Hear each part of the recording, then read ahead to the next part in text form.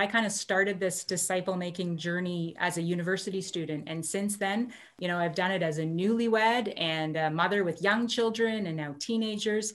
And it really has changed over the years. Um, like when my kids were little, a lot of times it involved sitting at a park while they played, whether it was a university student or another young mom, we would just sit on a bench and be able to chat together while our kids played or maybe we did it at the house and the kids were in the playroom and you know there's lots of distractions and noise but that's the way life is. And um, and now my kids are older and so i don't have those same demands.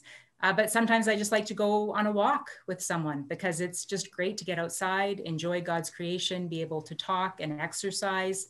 It's not always something that i can prioritize. And so you know over the years you just kind of find what the stage is, whether it's my stage or whether the stage of the person that I'm meeting with, and really just find those intersection points. Um, a lot of the university students that I discipled for a lot of years, they became my kids' babysitters when they were little. And so they were in my home. They saw my kitchen when it was a mess.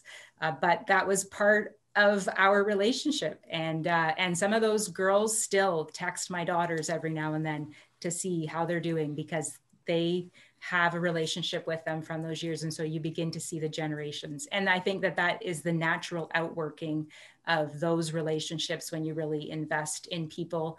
It's not a project. It's not a meeting. It's a relationship and a lifestyle and a calling. And and you become it's like pete was saying earlier it's community. It's ministering out of community. And so you just find ways to do that